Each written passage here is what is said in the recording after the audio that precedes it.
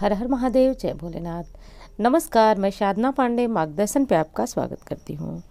दोस्तों, आज मैं बताऊँगी प्रदोष व्रत में पूजा कैसे करना चाहिए। देखिए, आप व्रत रखते हैं, बहुत अच्छी बात है। व्रत नहीं रखते हैं और बिना व्रत रखे भी ये पूजा विधि फॉलो करके आप पूजा करते हैं। विश्वास मानिए दोस्तों, व्रत रखने से भी अधिक पुण्य फल मिलेगा। क्योंकि भगवान जो है, वो भाव के भूखे होते हैं। कभी भी सामग्री या फिर व्रत के भूखे नहीं होते हैं। तो यदि आप व्रत नहीं रख पाते हैं तो किसी भी प्रकार की मन में ग्लानी मत लाइएगा। आप जो है बड़े प्रेम से इस पूजा विधि को आप बताइए, क्योंकि हर कोई व्रत रख पाए, ये संभव नहीं है। दूसरी चीज़, चलिए आगे जैसे जैसे याद आएगी वैसे वैसे चीज़ें मैं बताती रहूँगी। और दोस्तों, इस वीडियो में आपको पूरी तरह से पता चल जाएगा कि आप महादेव की पूजा में क्या करते हैं और क्या गलतियाँ करते हैं। सारी चीज़ें जो भी मुझे लगेगा कि आपको बताना चाहिए, शिव पूजा के लिए ज़रूरी है, वो मैं आपको साथ साथ बताती जाऊँगी। सर्वप्रथम आपको जल चढ़ाना है। यदि कोई बीमारी से पीड़ित है या मतलब रोग वगैरह से पीड़ित है तो जल में कुसा डाल लीजिएगा।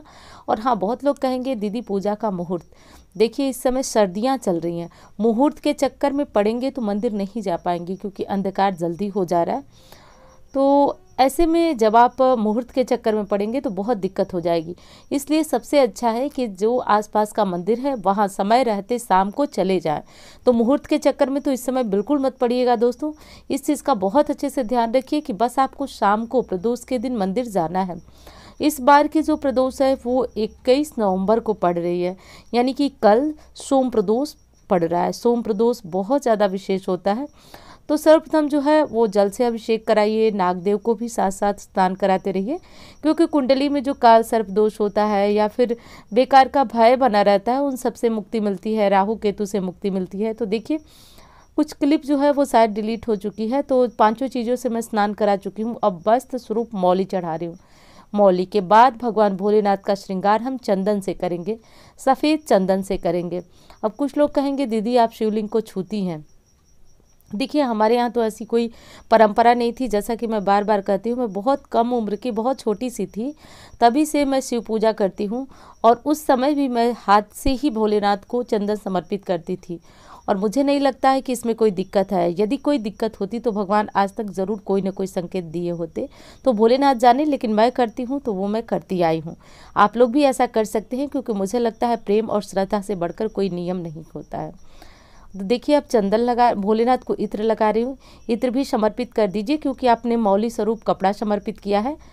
और उसके बाद जैसा कि मैं हर प्रदोष पे या फिर हर सोमवार पे भोलेनाथ के लिए खुद से माला तैयार करती हूँ। तो सफ़ेद फूल मिले तो आप भी कर लीजिए आंकड़े के फूल से या फिर जो फूल और होते हैं सफ़ेद उनसे भी आप तैयार कर सकते हैं। अब भस्म, बहुत सारे लोग पूछते हैं, दीदी, भस्म चढ़ा सकते हैं, नहीं चढ़ा सकते?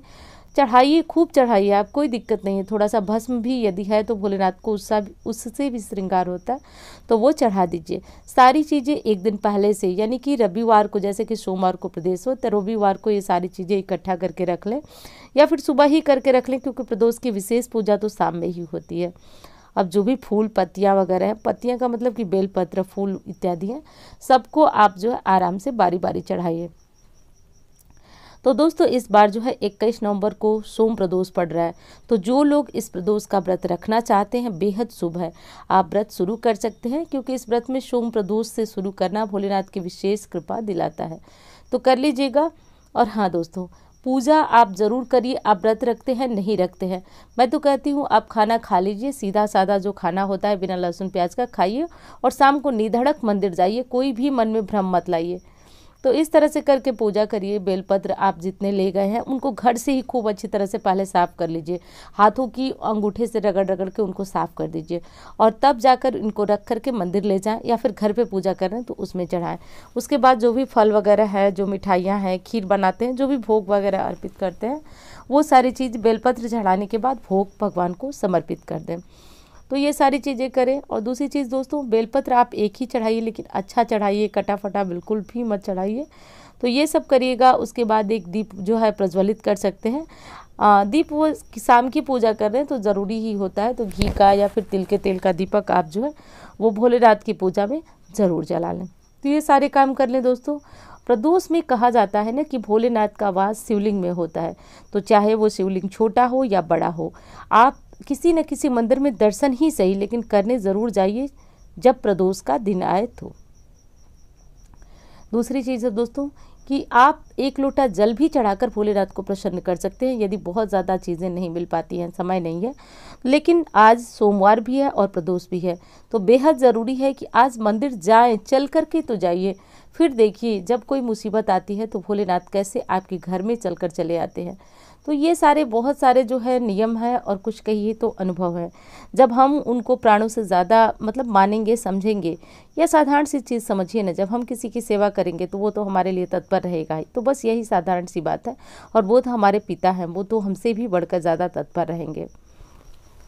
तो चलिए, ये तो मैं अपनी अनुभव, अपनी बातें आपके साथ शेयर कर रही हूँ। मेरे सब कहने का मतलब ये है कि चाहे सोम प्रदोष हो या कोई अन्य प्रदोष हो पूजा करिए, ज़रूर करिए। ये काम आप ज़रूर करिए, आप मंदिर जाइए, एक बार दर्शन करने। घर में भी बहुत सारी बहनें कहती है, दीदी, घर में तो पूजा हो सकती है ना? बिल्कुल हो सकती है, कोई समस्या नहीं है। यदि आप मंदिर नहीं जा सकती हैं तो आप घर में पूजा करिए। लेकिन मंदिर जाने से ना होता यह है कि जो मंदिर का शिवलिंग होता है, वो पूजित होता है, प्राण प्रतिष्ठित होता है तो वहाँ पूजन का विशेष महत्व होता है। मंदिर के साइड में जो है नंदी गौरी जी होती हैं, गणेश जी होते हैं और कार्तिकेय जी होते हैं तो जब भोलेनाथ की पूजा कर लें तो एक बार उनका भी पूजन कर लें। वैसे तो आपको भी पता है कि शिवलिंग में इन लोगों का पूजन भी हो जाता है भोलेनाथ के साथ साथ लेकिन फिर भी अलग अलग जब प्रतिमा है तो हम अलग अलग भी उनको पूज लेंगे। तो ये सारे काम आप ज़रूर कर लीजिएगा। दूसरी चीज़ है दोस्तों, पूजा करते समय आप जो भी मंत्र जपते हैं, वो जपते रहिएगा। नहीं आता है तो मंत्रों के साथ साथ आप जो है भोलेनाथ से अपने मन की बातें कहिए। वो कहिए जो आप भोलेनाथ से कहना चाहते हैं, जो आपके मन में चल रहा है, बहुत ज़्यादा हलचल है, जो भी समस्या है, बस बोलते रहिए। वो सब सुनते हैं, यदि विश्वास है तो शिवलिंग के पास बैठ करके आप ये काम करके देखिए, वो सच में सुनते हैं। विश्वास करिए, बैठिए और बोलिए, वो सुनने लगेंगे आपकी बातें। करते रहिए पूजन। दूसरी चीज़ बता दूँ दोस्तों, कि जब आप पूजा करें तो पूरे मन से करें। कुछ भी सामान छूट गया है या कुछ भी है तो वो उसकी चिंता न करें। पूजा के अंत में कपूर घर से ही लेके जाएँ और आरती ज़रूर कर लें, कर्पूर गौरम कर लें। बड़ी वाली आरती नहीं आती है तो तो ओम जय शिव ओमकारा यदि आती है तो गाइए, नहीं आती है तो आज तो प्रदोष है, भीड़ बहुत ज़्यादा होती है। तो कर्पूर गौरम कर लीजिए, हो गई भोलेनाथ की आरती, इतनी कर लीजिए, करने के बाद जो है आपकी पूजा जो है पूरी हो गई। तो दोस्तों, कम से कम जो है, वो पाँच चीज़ें नहीं, लेकिन जल आप जैसे दूध, दही, घी, शक्कर, शहद, ये चार सारी चीज़ें नहीं ले जा सकते।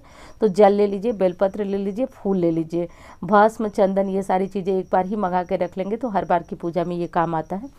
तो ये सब कर लीजिए, भोलेनाथ की पूजा हो गई। अब देखिए, जो ज़रूरी पूजा होती है ना, हम लोग एक चीज़ भूल जाते हैं।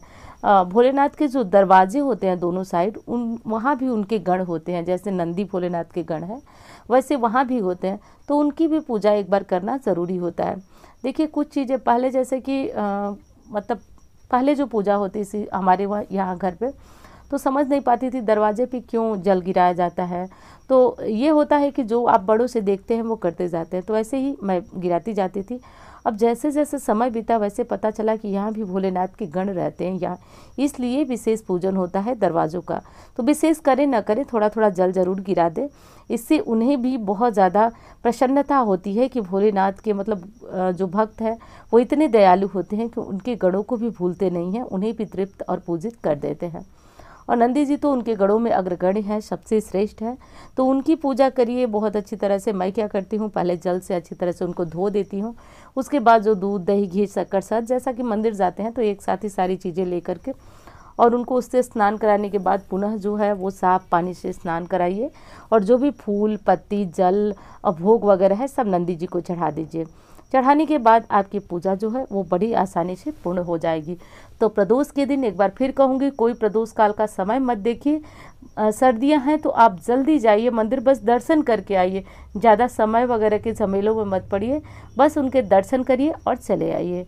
तो दोस्तों, वीडियो कैसी लगी बताइएगा ज़रूर, अच्छी लगती है तो लाइक करें, चैनल को सब्सक्राइब कर लें। दोस्तों, जो नंबर आप देख रहे हैं, इस पर आप कुंडली वगैरह दिखाना हो तो संपर्क कर सकते हैं। और हाँ चैनल को सब्सक्राइब कर लेंगे तो इस तरह की जो शास्त्रोक्त जानकारियाँ होती हैं, वो आपको आराम से मिलती रहेंगी। और दोस्तों, जो इंस्टाग्राम फेसबुक वगैरह का सब लिंक जो है, वो आपको डिस्क्रिप्शन में मिल जाएगा। तो आप फॉलो करना चाहें तो वहाँ से भी फॉलो कर सकते हैं। तो चलिए दोस्तों, भोलेनाथ का नाम लेते रहिए। हर हर महादेव, जय भोलेनाथ।